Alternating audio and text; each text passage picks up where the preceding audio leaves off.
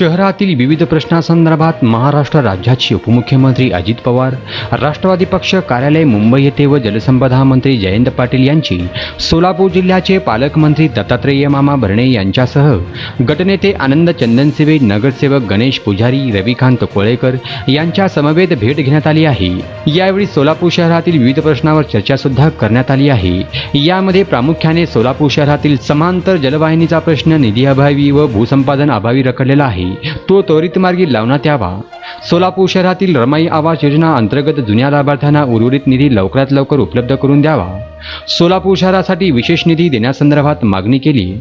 रमाई घरकुल आवास योजनेबाबत सह आयुक्त समाज कल्याण विभाग सोलापूर तसेच सोलापूर महानगरपालिका आयुक्त यांच्याकडे नवीन लाभार्थी यादी व पात्र यादी लवकरात लवकर मागवून या यादीस अंतिम मंजुरी देण्यात यावी अशा विविध अडचणीवर चर्चा सुद्धा करण्यात आली आहे.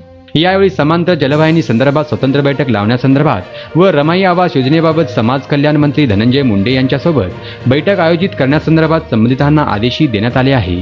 यावेळी गटनेते नगरसेवक आनंद चंदनसिवे नगरसेवक गणेश पुजारी एस के फाउंडेशनचे संस्थापक अध्यक्ष रविकांत कोळेकर चंद्रकांत सोनवणे विष्णू जगताप व कार्यकर्ते बहुसंख्येने उपस्थित होते.